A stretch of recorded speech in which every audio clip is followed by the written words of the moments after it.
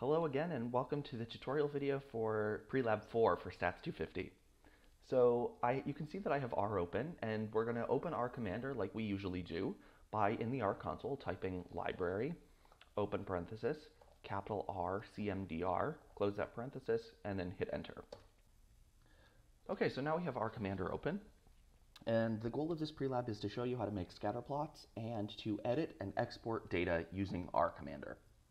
The data set that we're going to use today uh, is about commuters' distance that they travel to work as well as their stress levels. So we conducted a study to investigate the relationship between commuting distance and stress. So we took a random sample of 20 employees and measured their daily commute distance in miles and then gave them a stress test after they arrived at their job and stress was measured on a 0 to 25 point scale. So uh, this data is described in the chapter on summarizing data in the course pack. So the first thing that we're going to do is load the data set. So come up to data, load data set, and in my stats 250 prelab 4 folder, I have commute stress.rdata. So I'll double click that to open it. And now you can see that commute stress is the active data set in R Commander. So let's go ahead and make a scatter plot of this. So to do this, we're going to come up to Graphs, Scatter Plot, and I'm going to choose miles to be the x-axis and stress to be the y-axis. And I'm going to click Apply. Okay, so now in the original R window, uh, the graph, the scatter plots appeared. If you're on a Mac, the scatter plot will open in an X-Quartz window. So you can see this all looks okay, except we have this weird point up at about 10 miles that's at like 60 on the stress scale. But the stress scale only goes up to 25, so this has got to be some kind of issue. So let's figure out what point this is. We can do that by going back into R Commander, and in the Options tab of the Scatterplot wizard, we can come down and look at, find the section called Identify Points. I'm going to choose Automatically, and change the number of points to identify to 1 because we really only have one outlier that this will automatically pick out and give us the observation number of. So let's click OK. Okay, so we can see that this is observation 15 here. This is the one that was probably a data entry error. So let's go back and take a look at this. We can fix this by coming up to Edit Dataset, click that, and we can find the 15th row. So here we have 10 miles and a stress score of 60. That doesn't make any sense. I'm sure that when I was typing this data in, um, I probably just hit zero accidentally. So this is probably a six. So I'm just gonna delete that zero, click OK. And now let's remake our scatter plot. So I'll come back up to graphs, scatter plot, choose miles as the x-axis, stress as the y, and click OK.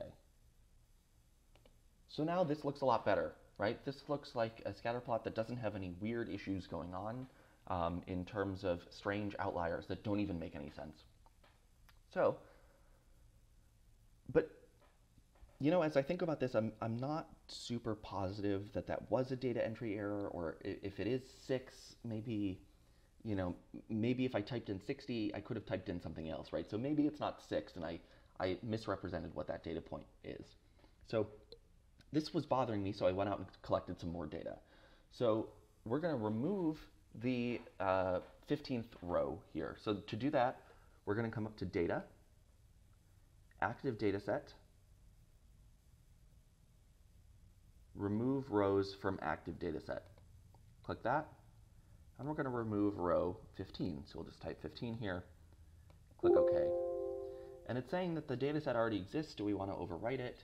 Here, yes, I don't need to make a new data set for it. I, I just want to get rid of this observation, so I'm okay with overwriting. So we'll click yes. And now that we've edited the data, I should make a note of this. So in my R Markdown document, I'm going to make a note that says I removed observation 15, which had a stress score of 60, which is not possible. This is likely a data entry error. So we just want to describe what we did here. Okay, so now let's go in and add the two new observations that I collected. So again, I'll click Edit Dataset. You can see the 15th row is gone. And let's go ahead and add a row. So in this first column as the miles, this first person traveled 11 miles a day to get to work, and their stress level was 9. And in the second case, the person traveled only 5 miles to work a day and had a stress, a stress score of 3. So we'll click OK. Now let's remake the scatter plot with the new data. Again, graphs, scatter plot, miles on the x-axis, stress on the y. This time we're going to add a title. So come over to options and title the graph appropriately. So here I'm going to type scatter plot of commute distance versus stress, add a new line, and say by 250 instructional team. And we'll click OK. So now we have this nice new scatter plot with our new data. So in R Markdown, let's come over and describe what we're seeing in this scatter plot. So here this looks like there is an approximately linear relationship between commute distance and stress. The association is positive and moderately strong. There are no apparent outliers.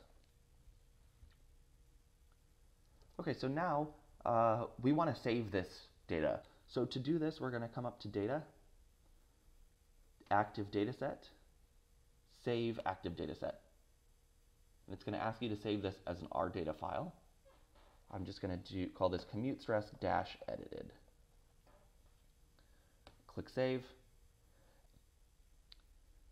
Okay, before we click Generate Report, we just want to make sure that we have a pre-lab title appropriately. So I'm going to call this pre-lab 4, working with data, and include your name. Go ahead and save that R Markdown file again, and now click Generate Report. And be sure to upload that HTML file to Canvas, and you're all set. We'll see you in lab this week.